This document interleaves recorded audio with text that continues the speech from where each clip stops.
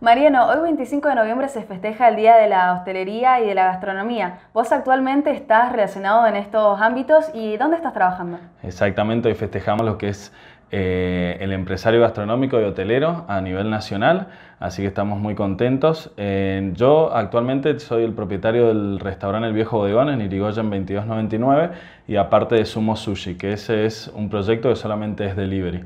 Y también estamos trabajando en la Cámara de Comercio, en la específica de turismo, en la mesa gastronómica. Así que estamos a full con todo lo que es el sector gastronómico y turístico.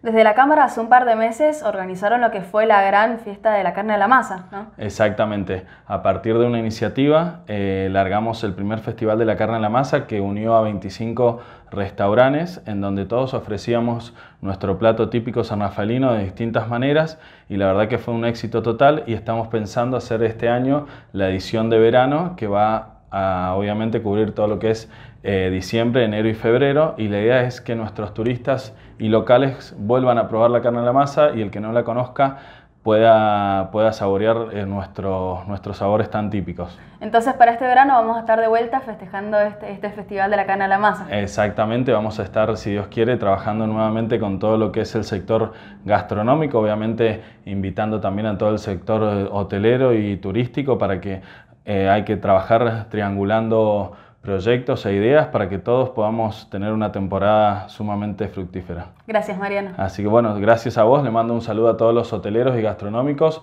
especialmente a los que trabajamos en la específica de turismo de la Cámara de Comercio, de la mano de Ana Paula Gutiérrez y también de Gabriel Besón, el presidente de la Cámara de Turismo acá de San Rafael. Feliz día y feliz día a todos. Gracias.